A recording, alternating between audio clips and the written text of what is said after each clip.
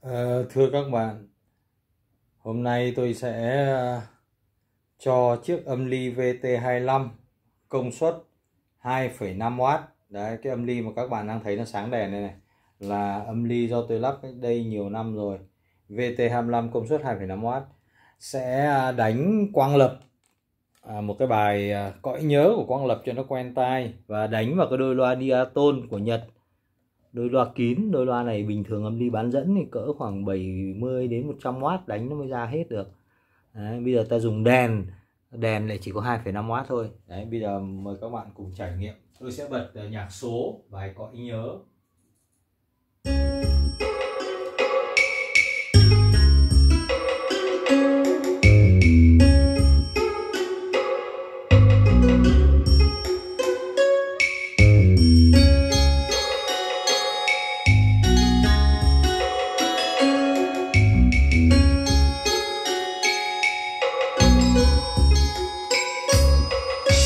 Ngày đó lâu rồi hai đứa mình yêu nhau. Một ước dài lâu ta sẽ cùng nhìn cầu.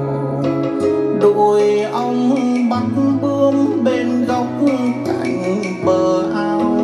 Tình yêu lắng sâu đã đi vào cõi nhớ.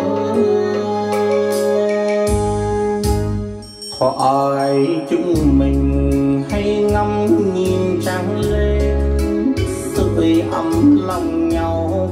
những câu chuyện tình.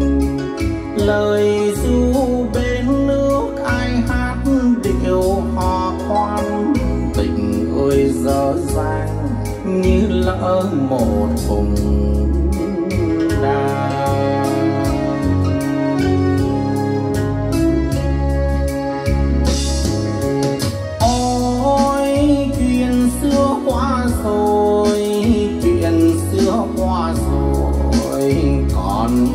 Trong đời. Bây giờ cũng thế thôi, mình ta lẽ loi xuyên kiếp và cuộc đời. Ai thấu được lòng người, tìm quên để vui. Người ơi người ơi, ngày đó xa rồi chỉ là mơ thôi. Đừng nhắc làm chi đau xót tim một người. Đành ôm nỗi tiếc cho số phận nhỏ nhoi. Tình yêu đã phai như giấc mộng đêm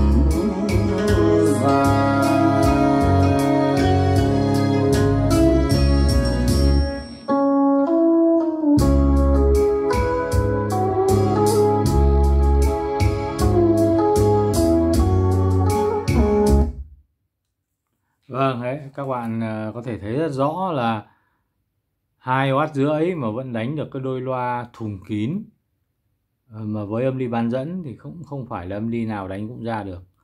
Đó là một cái điểm rất hấp dẫn của âm ly đèn và cũng là một điều dường như là kỳ bí dường như là khó giải thích.